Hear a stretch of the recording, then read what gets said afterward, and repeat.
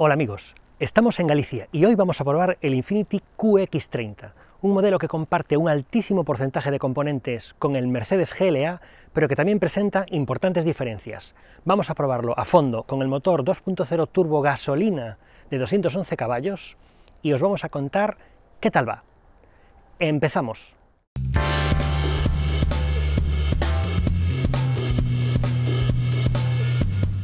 Estamos al volante del Infiniti QX30. Ahora mismo este modelo solo se comercializa en una única versión, que es el motor de gasolina 2.0 turbo de 211 caballos. Es el mismo motor, la misma transmisión automática de 7 velocidades de doble embrague y, el y la misma transmisión eh, a las cuatro ruedas que lleva el Mercedes GLA 250 de gasolina también. Este motor es un motor eh, suficientemente potente para mover el coche con total agilidad y los 211 caballos se dejan notar sobre todo en alta. La pequeña pega que estoy viendo en este motor quizás tiende a consumir bastante si le pisamos demasiado el acelerador. Es verdad que el cambio está programado para minimizar el consumo más que otra cosa y busca siempre la economía, la marcha larga, pero aún así, si le pedimos prestaciones, realmente se nos está metiendo fácil, fácil en los 10-11 litros durante la prueba. El comportamiento del Infiniti QX30 tiene dos vertientes. Por un lado, tenemos un chasis muy bien afinado, con un aplomo en curva notable y un comportamiento muy agradable que nos permite ir a ritmo fuerte por curvas y al mismo tiempo mantener un nivel de confort alto en todo momento, con lo cual ahí tendría una nota bastante alta, la verdad que el coche me ha gustado mucho, pero tiene la otra faceta, la otra cara, que es una dirección que carece mm, por completo de feedback. Es una dirección, que parece totalmente desconectada del tren delantero, con lo cual cuando entramos en una curva un poco fuerte eh, no tenemos francamente ni idea de si queda adherencia o no. En ese sentido eh, es un timón mudo que nos permite dirigir el coche eh, hacia donde queramos, pero no disfrutar realmente de la, de la conducción.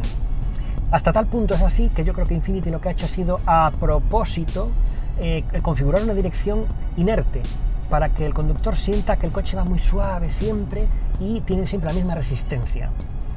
Si te gusta ir en un coche, em, digamos, de una forma muy, muy tranquila y valorando sobre todo la suavidad, puede ser incluso una virtud. Pero si te gusta conducir, necesitas una dirección que te informe. Y este coche realmente, aunque el chasis sí que está muy bien logrado, para mi gusto, la dirección no, no estaría a la altura.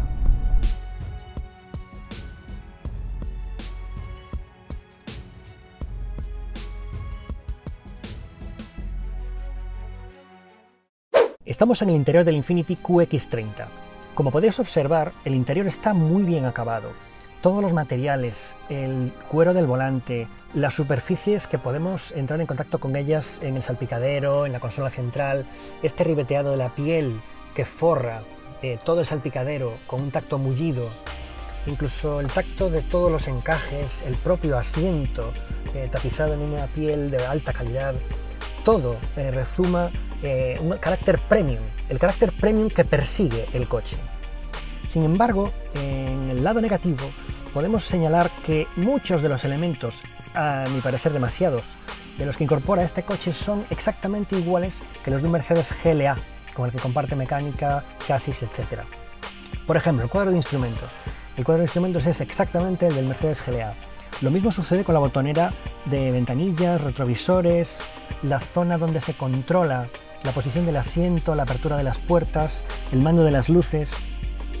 Son todos botones Mercedes y todos, incluso el satélite del, control de velocidad que está ahí debajo, eh, son botones Mercedes y mandos Mercedes, el climatizador también exactamente igual que el GLA, con lo cual, eh, por un lado, eh, es un gran éxito de Infinity haber conseguido un diseño tan original y tan diferenciado por dentro y por fuera del Mercedes GLA con el que comparte tantos componentes y por otro es una pena que no hayan llegado un poquito más lejos y no hayan conseguido también eh, elementos originales para el cuadro de instrumentos al menos unos relojes Infinity con una mayor originalidad y no traer directamente los del Mercedes. Ese punto me parece un poco una pequeña lástima dentro de un interior que por otro lado está, como decía al principio, francamente muy bien acabado. Otro detalle que me llama la atención es que la pantalla central, con navegador y con bueno, todas las funciones de infoentretenimiento, se hace un poquito pequeña para lo que se estila hoy en día en coches incluso de gamas inferiores. Eh, se queda un poco corta de superficie, de imagen, y mm, quizás será el, elemento que más denota el paso del tiempo en el interior eh, del Infinity. El maletero es de apertura manual. Cuenta con 430 litros de capacidad y unas formas muy aprovechables, pero se queda algo justo frente a la competencia, penalizado por la tracción integral. El espacio atrás sería uno de los puntos flacos del QX30. Con unos 74 de estatura, el espacio para mis piernas es suficiente, pero la altura del techo es realmente justa. Hasta aquí la prueba del Infiniti QX30. Vamos a repasar un poco sus virtudes, sus carencias y sacar algunas conclusiones. Virtudes, sin duda, para mí, el diseño. Este es un coche precioso, único, original, dinámico, tiene un aspecto deportivo y es un coche que es muy poco visto porque se han vendido pocas unidades, con lo cual si queréis un coche realmente individual y con personalidad, este puede ser el vuestro. Otra de las grandes virtudes del coche es su calidad de construcción. Es un coche que tiene materiales, acabados, tacto de coche premium y responde muy bien a esa filosofía. Pequeñas carencias que hemos encontrado en el coche a lo largo de la prueba. La primera, el espacio en las plazas traseras y el espacio en el maletero de 430 litros son algo justos. No es que sea un coche pequeño, pero mm, ahora mismo en el segmento C-Sub eh, se estilan maleteros más hacia los 500 litros y eh, el espacio trasero tampoco es que sea muy justo, pero no da mucha sensación de amplitud, quizá por la cintura alta del coche y tampoco es que las medidas sean eh, muy generosas, por ejemplo, en la altura del techo. otra carencia del coche para mí fundamental es el tacto de dirección. Esta dirección es una dirección eh, completamente anestesiada que no tiene ninguna conexión con el tren delantero, con lo cual eh, nos da una información difusa, no nos dice eh, cómo va la adherencia. Mm, digamos que si te gusta mucho conducir y hacerlo de forma un poco agresiva, desde luego este no sería el coche. Y por último, una carencia entre comillas al ser un coche compartiendo muchísimos, muchísimos elementos, toda la mecánica, toda la caja de cambios, la transmisión, el chasis entero, con el Mercedes GLA, eh, tiene un gran mérito por parte de Infinity haber conseguido un coche tan diferenciado. Pero han llegado tan lejos en el diseño original y diferenciado por dentro y por fuera que es una pena que no hayan cambiado el cuadro de instrumentos o los botones de las ventanillas, etc. Les ha faltado ese punto de originalidad en las piezas que entiendo que es mucho más caro y por lo tanto por alguna razón económica no lo han hecho, les ha faltado ese punto para hacer un coche absolutamente original en el que no se pudiera reconocer en absoluto el Mercedes GLA con el que comparte tantos componentes.